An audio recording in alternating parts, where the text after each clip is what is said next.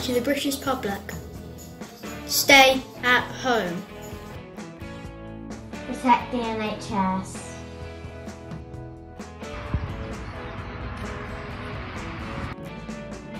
By staying at home, you'll protect our NHS. I got three words to say. Stay at home. Protect the NHS.